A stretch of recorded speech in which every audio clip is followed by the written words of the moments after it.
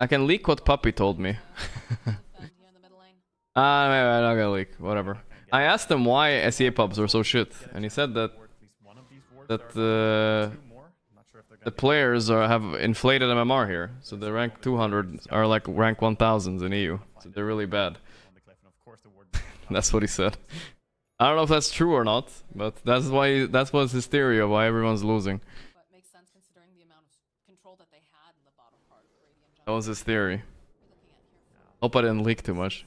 I don't know if that's true or not. I haven't played SEA pubs myself. Topson also came here and he lost he lost like 2k MMR, Sauce is gonna have a but I don't never really asked why.